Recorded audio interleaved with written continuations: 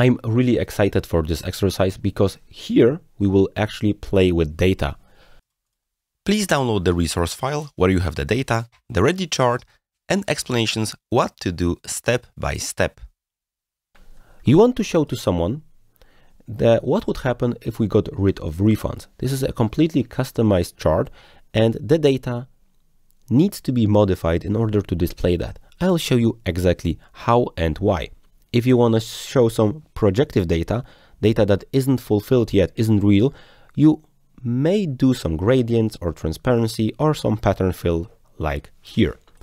Let me select all the data and explain that when we actually work. Okay, number one, our task is make a new table with total sales, total sales without refunds, and refunds. Okay, I will insert the chart, area chart, the normal area chart. Okay. And let's do the magic now. This is the entire big chart. But what I actually wanted to show with this slide is total sales. I wanted to show you total sales without refunds. This would be cool, right? If we could get rid of refunds and refunds just to reinforce what we are talking about. If you cannot see it, just make it a little bigger. Total sales will be equal sign, sum in my case, opening the brackets and just summarizing everything we see here, sadly including the refunds. Extend it down and OK. Now total sales without refunds is the possibility if we somehow reduce the refunds, I will add 1, 2, 3, 4, but not the refunds. I'll press OK, and this is a different value now. The refunds, if we want them, I can simply take this part, Control C and Control V it here. Perfect. I've copied and I made a new table for myself. Let me take a look right now and let us modify the data that is selected here. I don't want this data to be selected. I want to click on select the new data range. Select this chart, chart design, select data, and under select data, let me move that aside. I want to show PowerPoint, hey, I've created new data. Select a new data. You can see everything has properly selected. Total sales, total sales without refunds and refunds. 30 days, perfect. It automatically reads the first column. Okay. And we have something completely different. But as you can see, one chart is overlapping the other chart and it's not visible. So what you need to make sure, make sure that total sales without refunds are in the back.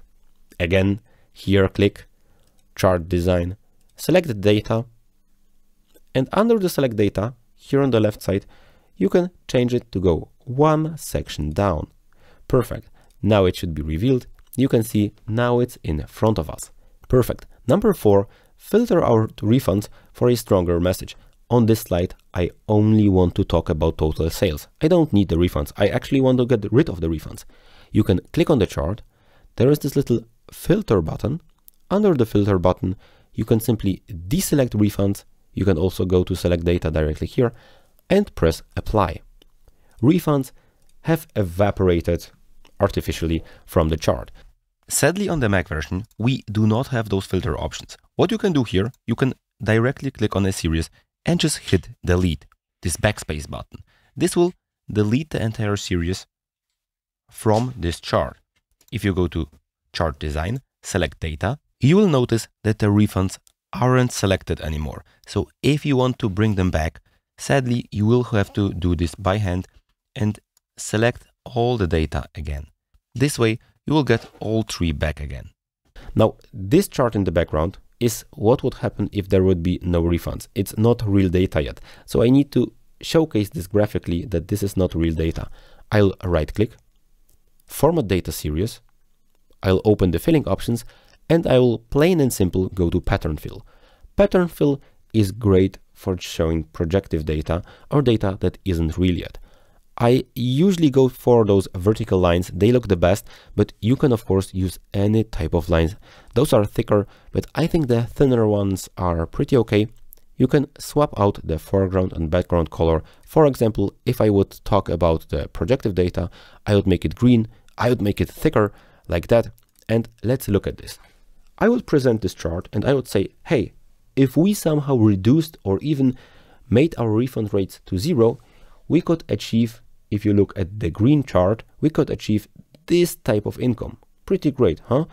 This is our current income, including refunds, and the green chart shows our income without any refunds. Wouldn't that be cool? Let's work towards that.